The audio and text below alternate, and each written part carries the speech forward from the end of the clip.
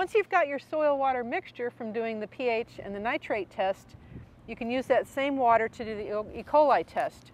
You'll need a sterile pipette, which you can also get from your county office, or just a clean medicine dropper. And you need one milliliter of liquid, which in this pipette is just the stem. It's a very small amount of liquid. You're going to draw it up into the pipette,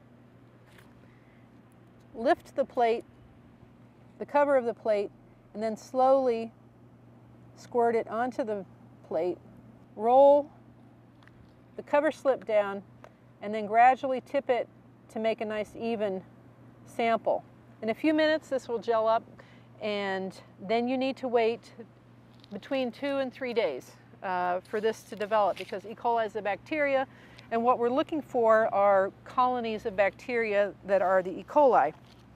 Some plates that I've already developed from samples at home will demonstrate the color differences.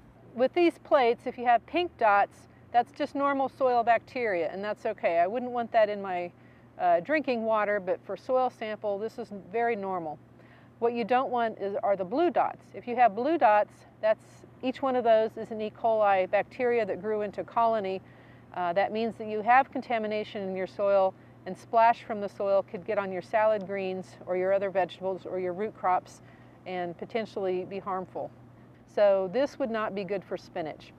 Uh, the longer soil sits, the more of these will, will die away.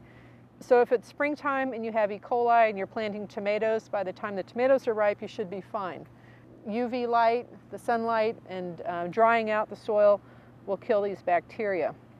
But if you're growing spinach, salad crops, you know, bean sprouts, things like that, this is a nice test to, to do at home to, to just check and see what's going on with your garden.